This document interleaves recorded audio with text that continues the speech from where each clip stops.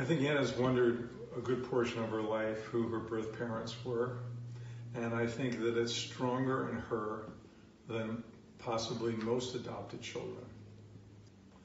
So for her happiness, and uh, because it's a, such a strong desire in her to know about more about her country and to find her family, um, we will do everything in our power to make sure that that happens.